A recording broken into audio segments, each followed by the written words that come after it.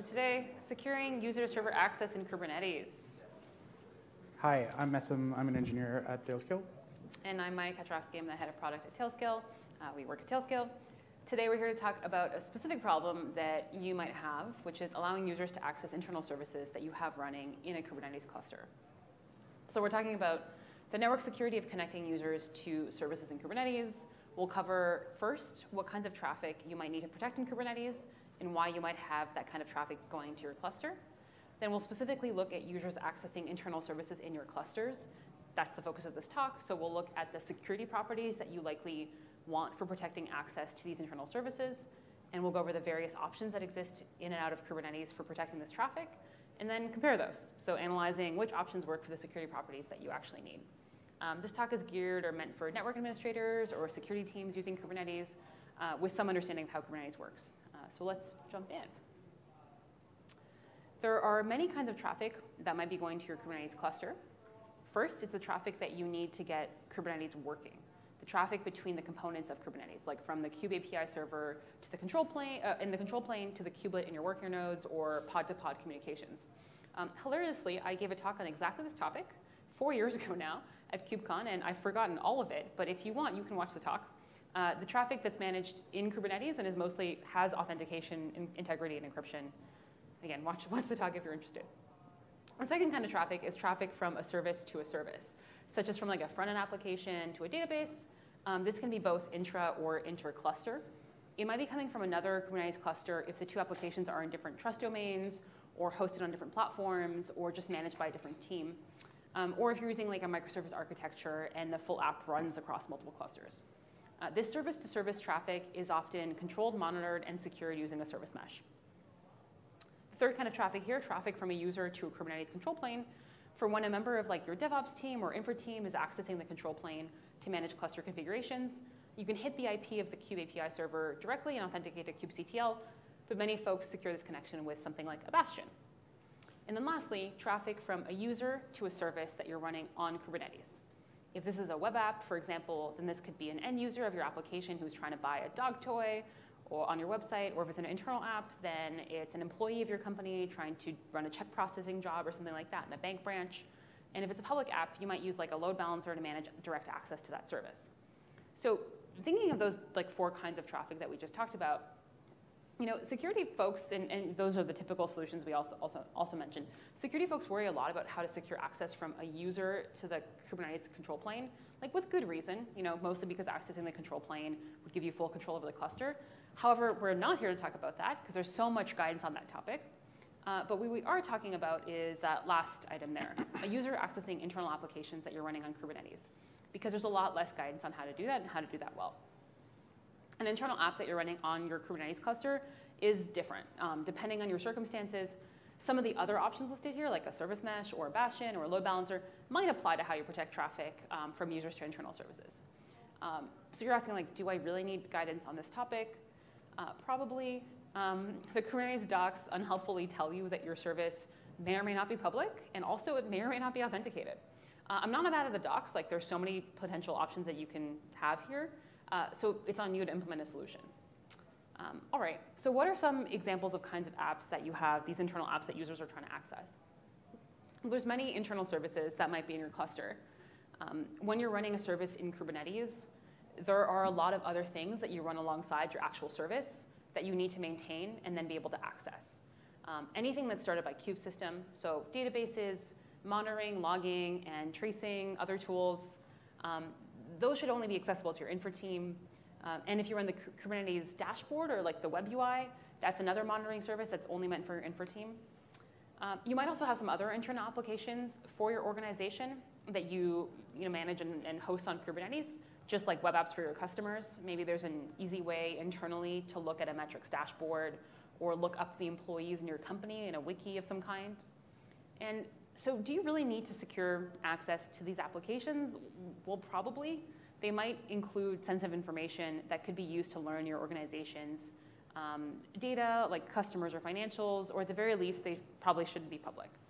And these services shouldn't necessarily be accessible by everyone at your organization, so you are actually going to need some kind of way of authenticating or restricting access, even internally. So let's look at some criteria. And these are, these are the criteria we came up with, right? Um, when you're hosting an internal application, there are several security properties that you're going to want the service to have. First, visibility.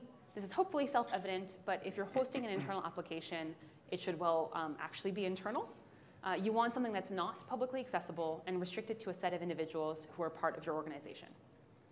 Authentication. This ensures that you know and verify the source and destination of the traffic. That is, you verify the user and the service they're connecting to. Authorization. Stricter than just visibility, authorization ensures not only that your service is internal, but only the right individuals in your organization have access to it. You could also build authorization into each of your applications rather than as part of the central access solution, but that's putting a lot of, a lot of work on each of your application teams. Encryption, by encrypting your traffic, you're preventing just anyone from reading it. Encryption ensures that only the authorized parties can actually read the traffic, so that any unauthorized party that intercepts traffic can't read its contents. Load balancing. If you're running multiple instances of a service, you want to load balance between them so that you're not overwhelming a service in any one node. This falls into the availability part of security. and uh, traffic filtering, your service might not allow all traffic to access it. You can filter the, the traffic for unusually high requests, like in response to a DDoS attack, or to rate, limit one user who might be limiting another user's ability to use a service.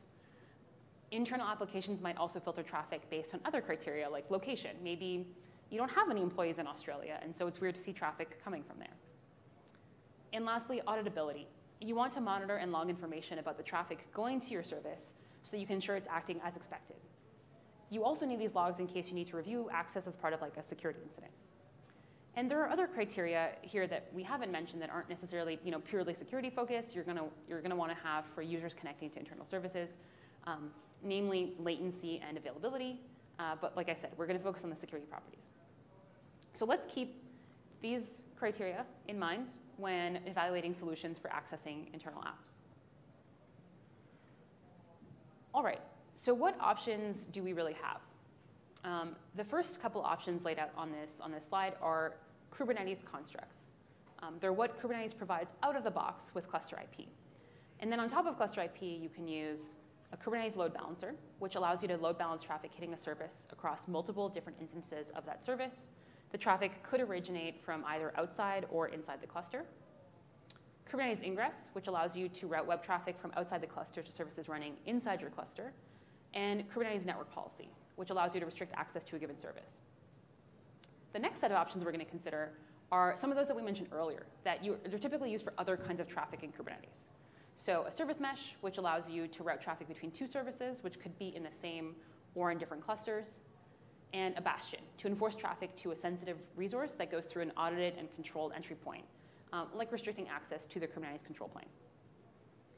And lastly, we're going to throw into the mix some more generic options for protecting traffic between users and services at layer three, where the underlying network is encrypted or untrusted.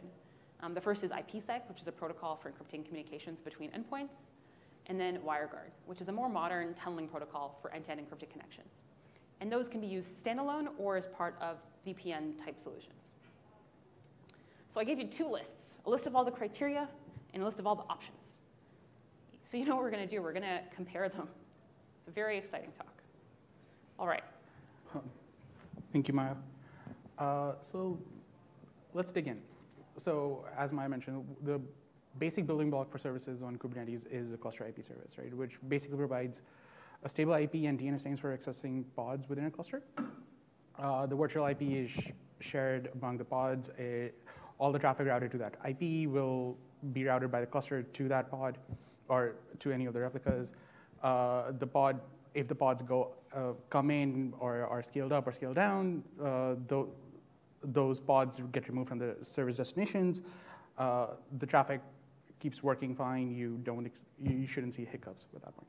However, the cluster IP service is internal only to the cluster. It is not something that you can hit from outside the cluster without doing some additional steps. Uh, the other thing is that cluster IP also does not provide any encryption. All it really does is that it takes your packets that you, your application would get normally, and it just gets them from like different sources, from like different parts of the cluster, different nodes, different pods. It also doesn't do any authentication or authorization.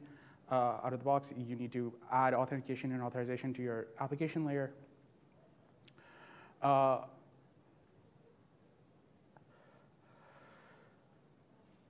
unlike cluster IP services, load balancer services are actually publicly visible.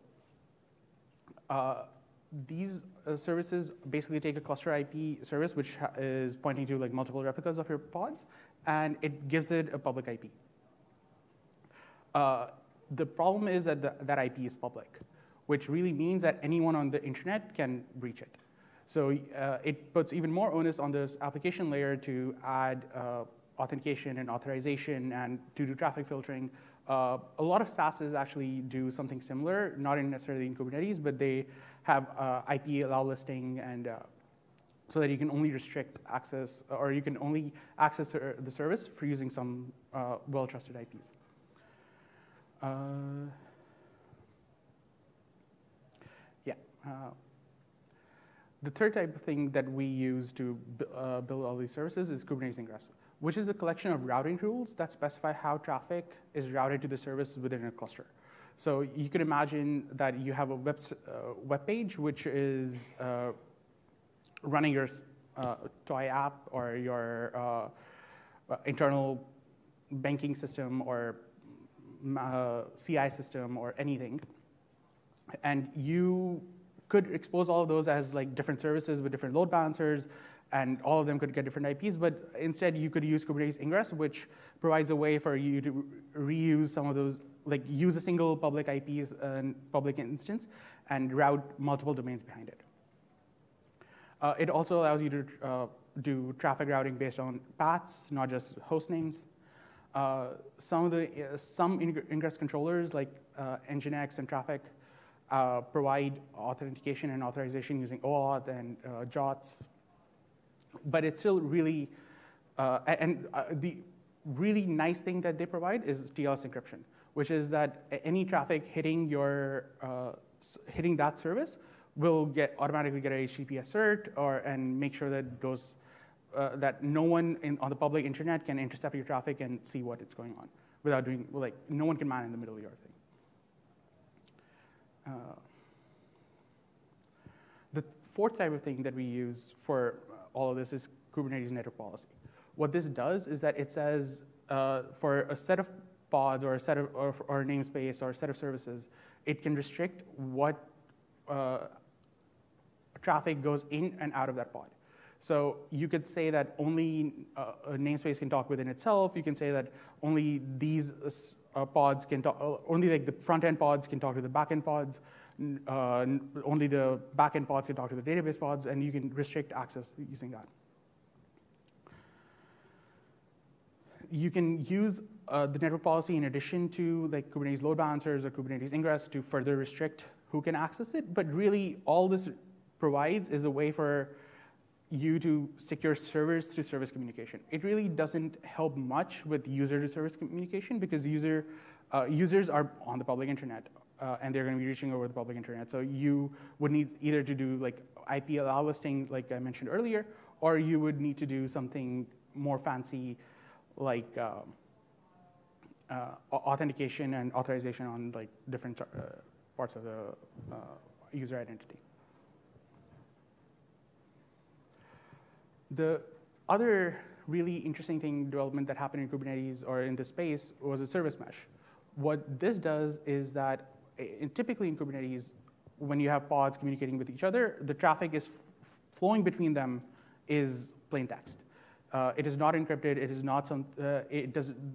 When you're sending traffic to someone on, in your network in your cluster, it is not necessarily. You're not always. There's no way to guarantee who that traffic is coming from. You could spoof the traffic, you could spoof the IPs, you could do a lot of, you could do a lot of funky things in order to uh, get around the restrictions.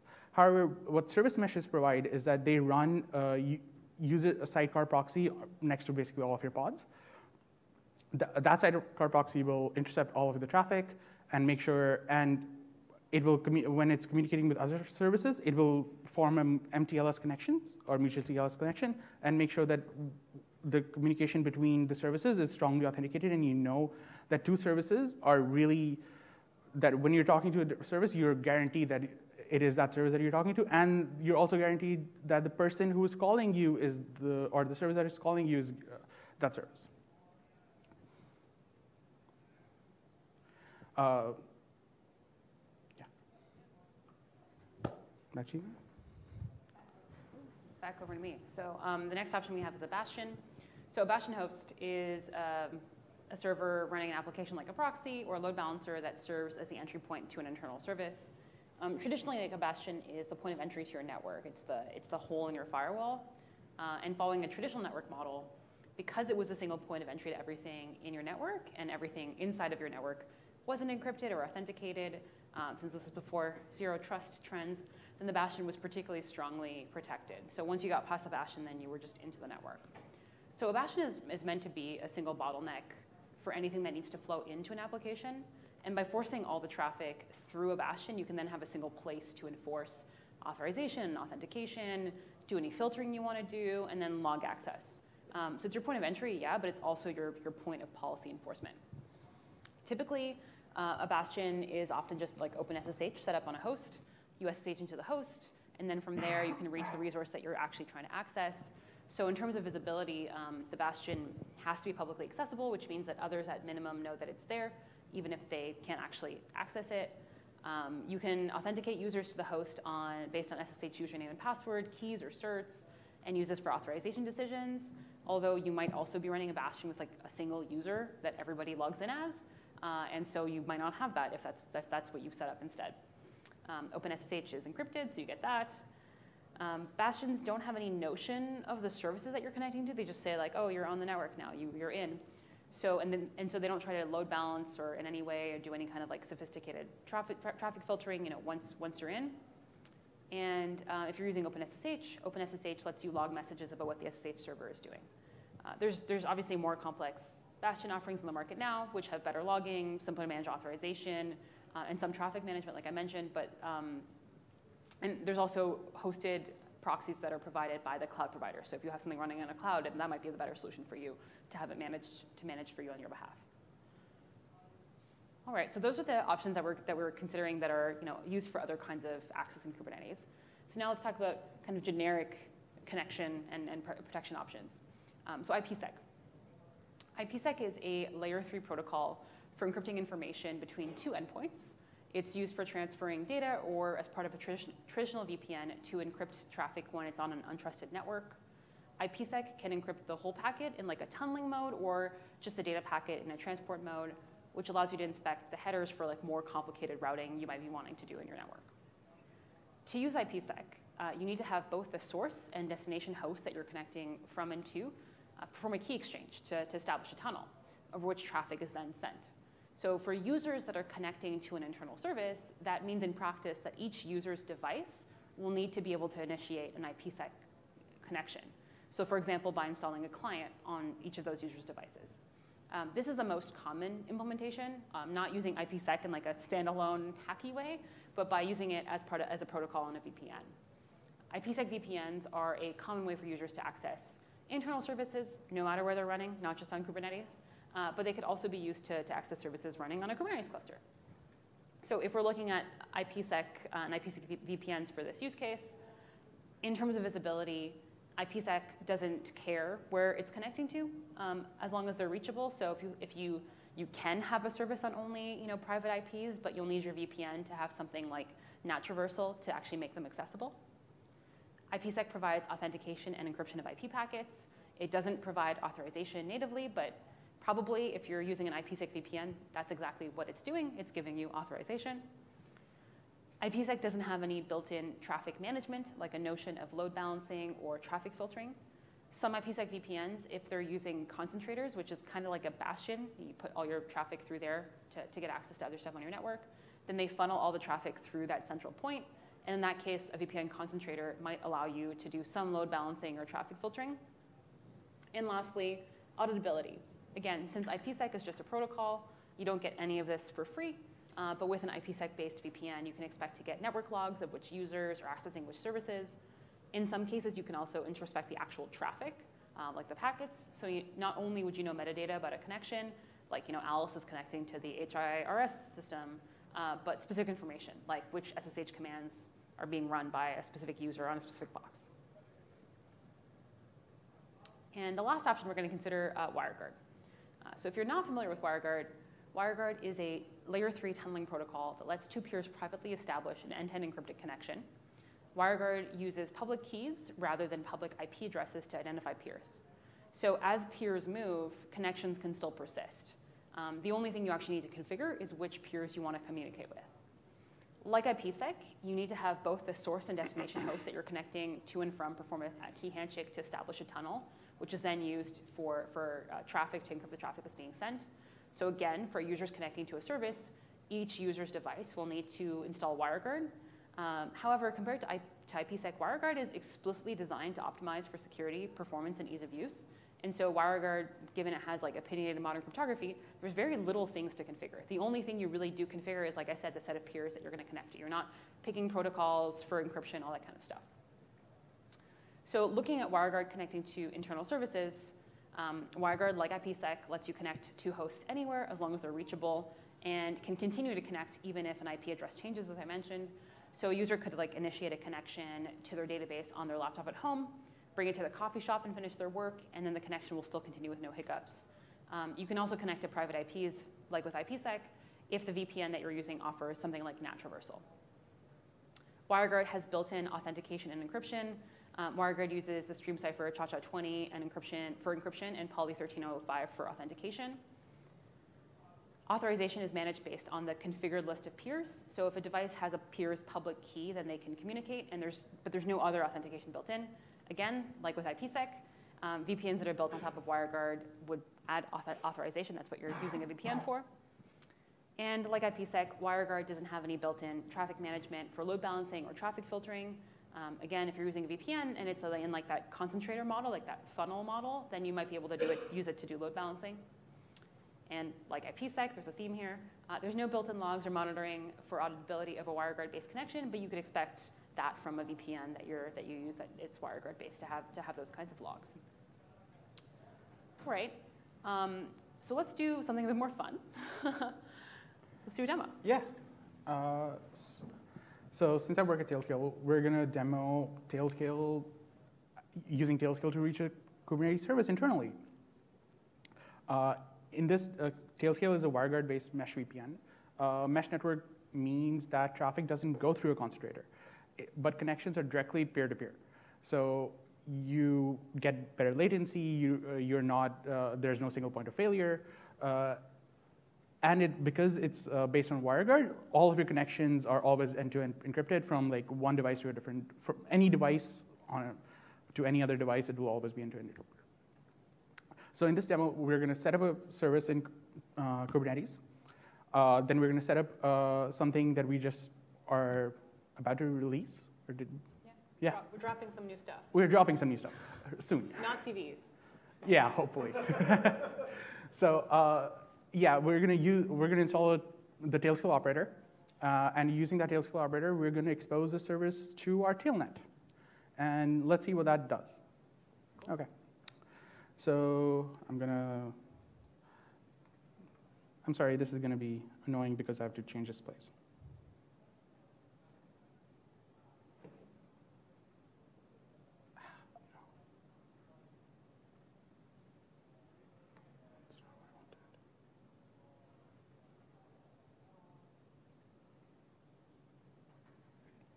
Can you see the same thing now? Yeah. Okay, cool. So I have. Bigger. Much bigger. Much bigger. bigger. Okay, so I have this Minikube cluster that I created yesterday. It is about 17 hours old. You can see that it has nothing running on it. There's only the kube-system namespace, which has pods running on it. There are, there's just, it's, it's a blank cluster. There's really nothing here. So the first thing I'm going to do is I'm going to create this service called Glances. And this will get me some pods. And we're going to hope and pray that the pods come up quickly, and they did. Okay. So uh, then we're going to expose that service. And you can see this, and I'll just show this to you.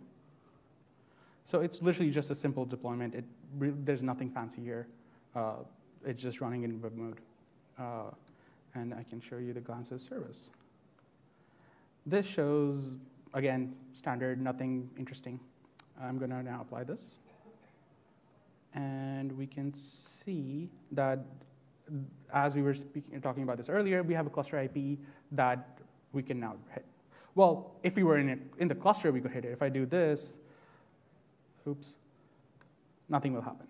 But what I can do is I can do uh, port forward. I have port forward somewhere. Yeah, there you go. Uh, and then I can go to localhost 5000, and I get this fancy thing that works, right? But obviously, this is running on my local machine, and that's not useful, right? So what we're going to do is we're going to now apply slightly. We're going to create the operator, which so this is the Kubernetes uh, Tailscale operator that we're just releasing. And you can see that things are coming up and things are there. And as the Tailscale operator starts, it joins my cluster. Or uh, it joins my tailnet. Uh, you can see that this I have Tailscale running here, uh, and there's a, the operator is here. It's not that interesting yet. We'll, we have some plans on how to make this more interesting. But anyways, back to this. So now I have the Kubernetes operator running. Uh, I'm going to do a diff of this and this. No. To show you that all I'm doing is basically making a load balancer class. I, am changing it from, this is Minikube running on my laptop. I'm going to say that no, make it a load balancer instead of a cluster IP and use the Tailscale load balancer class. Uh, I also tell it to use the demo hostname. So let's do that.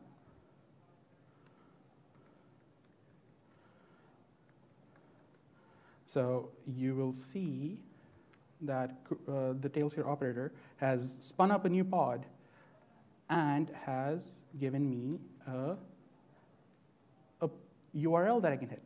Okay, so I'm going to hit this URL on my machine, and this is not going to work, but this might, hopefully, maybe, if I'm lucky. Oh, it does work, right? No port forwards, no nothing. I have something that's running on this. Um, I hope that it doesn't isn't always this slow, but I guess Wi-Fi is fun. Uh, while we wait for this to do stuff, what we're going to do is we're going to use a new feature, and this is this is not part of the operator that we're about to drop. This is coming soon, but uh, it's in a branch somewhere that I'm working on. But what this does is, so there's a, I'm sorry? Get your code fresh. Yeah. You really do. Uh, it's, it's like literally hours old. So we're gonna, and this is the other one, which is diff glances funnel with this. The only difference is that this is another annotation that I add. And as you can see from it, what it does is it uses the new, uh, new feature in Tailscale called funnel, and it will allow you to have a public IP on your machine, on my laptop, sitting here in this booth. All right?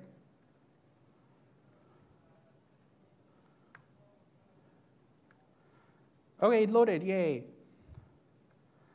Now, what has, let's see.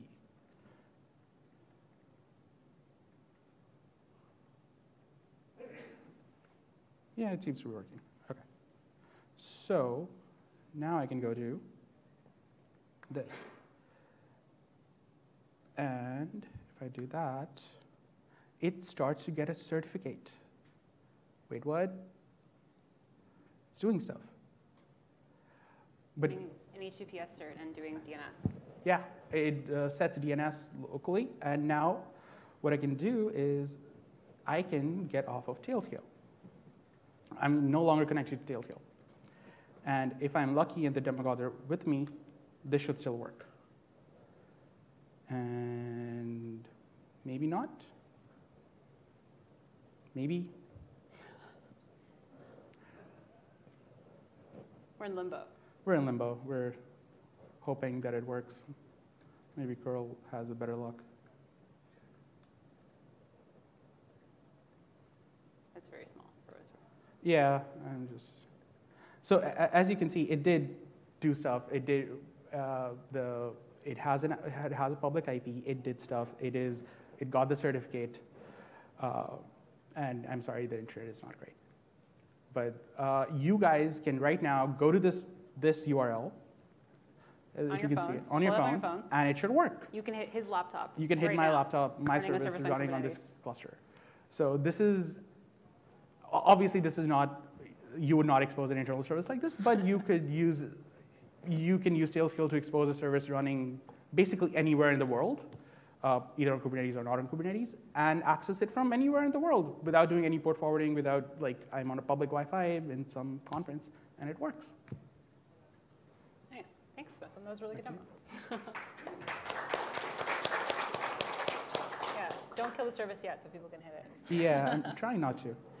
Um, yeah, so I think there's That's not what I wanted. the, um, so again, what Maisem demoed, so it was spinning up um, a service of a load balancer class type, type on, uh, on Kubernetes, adding it to your Tailscale network, which then made it accessible to anybody else who's on your Tailscale network who has authentication, encryption, all that goodness, um, just like you would want for an internal service. And then if you wanted to make it publicly accessible, like if you were trying to share a link with a partner of, you know, something in CI/CD that you were developing or that type of thing, you can just share. You can easily get I am um, trying. DNS and HTTPS, and then uh, go from there. While we figure out how monitors work, because that's Yeah. actually harder than what Maisem just did. Apparently so. Okay. You also type really fast. Okay, where was my Yeah, presentation? you're, you're good, I think.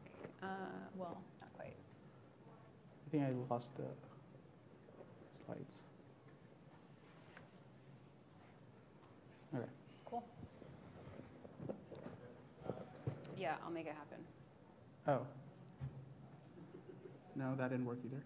Oh, I see. Give me a sec. Drag it.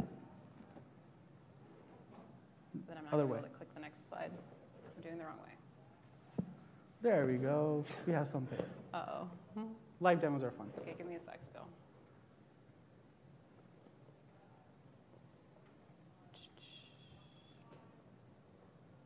Aren't live demos fun? I love that the live demo is easier than. Then fixing This. slides. All right, so we did a demo. Um, again, thanks for the demo, Maisem. So we've covered all the options that we had, and none of them provides all the properties that we were looking for, which is not shocking. Uh, nonetheless, let's go look back at the options that we considered and how they stack up. And I'm sorry that the text is so tiny. There's too many options and too many criteria. So for the Kubernetes constructs, you know, combining Kubernetes cluster services with uh, load balancer gets you load balancing. That's it. It gives you inbound connectivity from outside the cluster to services running inside of it. Combining Kubernetes cluster services with Kubernetes ingress gives you encryption and load balancing. You can still, you know, you can route traffic into a cluster with TLS that terminates um, at ingress, which may or may not be inside the cluster. Uh, with Kubernetes network policy, you can restrict which services inside a cluster can communicate with which other services, including restricting a service to only access, accept traffic from ingress. Then for the set of options that are typically used for other kinds of traffic in Kubernetes, um, service mesh does it everything, or it can in some cases, depending on what you're trying to do. Um, so why shouldn't you use a service mesh for the user to internal service um, use case? Well, you can. Again, you would just need a user to install the service mesh agent on all user machines, which ends up looking a lot like a VPN, right?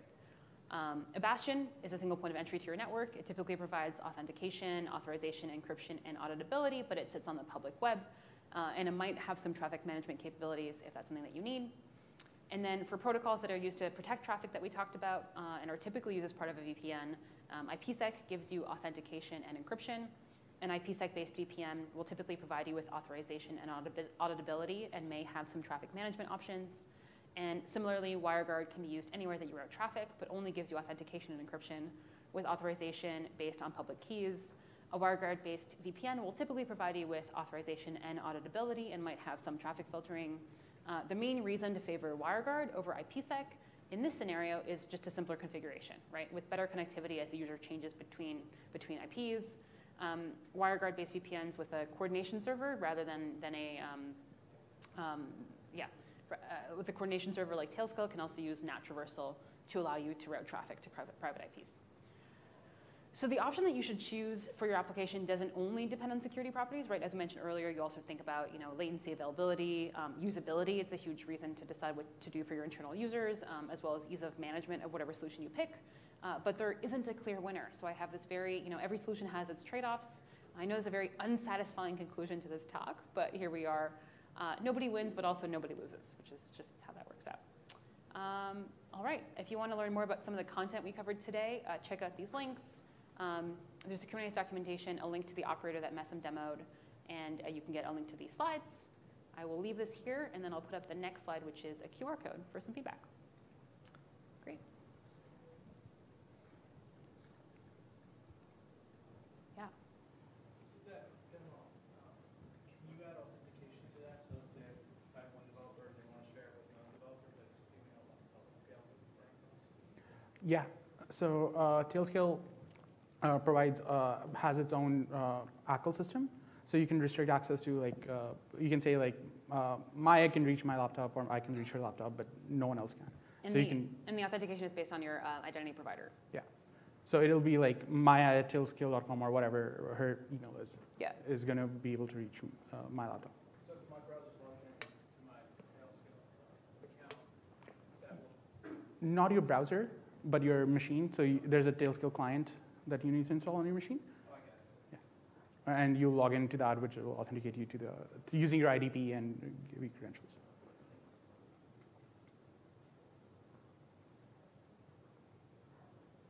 Yes.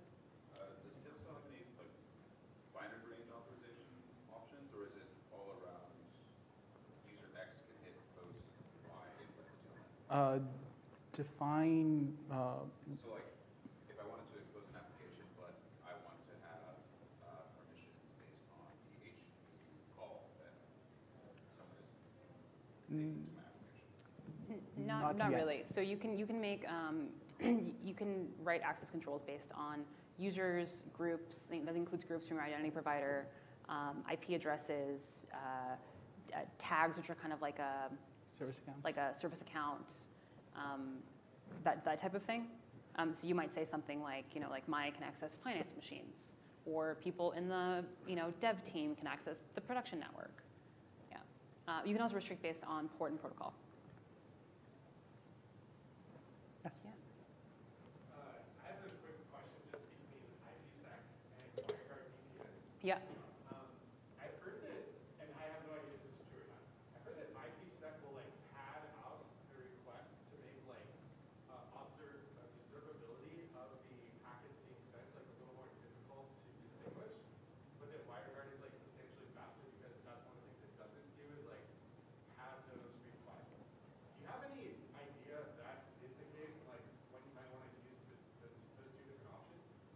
Uh, not that I know of. Uh, can. I don't know about that, Yeah. but I know WireGuard's padding is very well defined and very small. Yeah. Like if like if WireGuard breaks, they have to redo. Like if the underlying encryption breaks, they have a way of changing like a version number, but then like everything else, every single bit is used basically, right? There's no there's nothing over there's no overhead. I don't know about IPsec. Yeah. Neither. Sorry. I Yeah. know. That's cool, yeah, thank you. Yes. Uh, Could you repeat the same pattern for, say, SSH access all the way to the bot or the node? Yes. So Tailscale has a feature called Tailscale SSH, which does basically that. So if you can install if you install Tailscale on your nodes, you can restrict who can access your nodes and as what user, and uh, it, it runs its own SSH agent on the machine. So it gets a lot more fine-grained access. You can there's also a mode called check mode, so you can say like uh, Maya needs to re-authenticate every four hours in order to reach the server.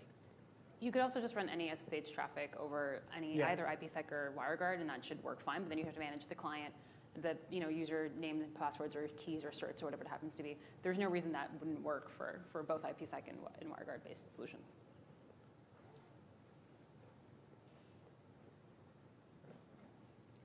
Any more questions? Cool. Uh, if you have any feedback, there's a QR code.